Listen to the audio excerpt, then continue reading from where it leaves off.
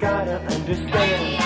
You're old enough to know the makings of a man. Listen to me, baby. I get to perform a play that takes place in the Bronx, New York, where I was born and raised.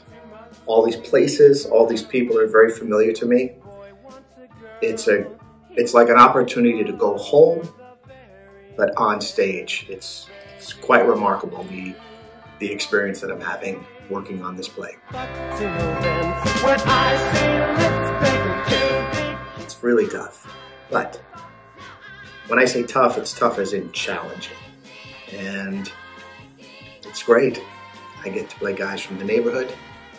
I get to play my mom. I get to play my dad. It's fantastic. I get to play young me. I think I bring a lot of heart. I bring a lot of truth. I bring reality because this is the place where I grew up also. These are the people that I grew up around. And these are the people that I loved in my life. Forgive and. The greatest gift I can give my audience in this show is the gift of love, the gift of second chances, and the gift of believing in miracles.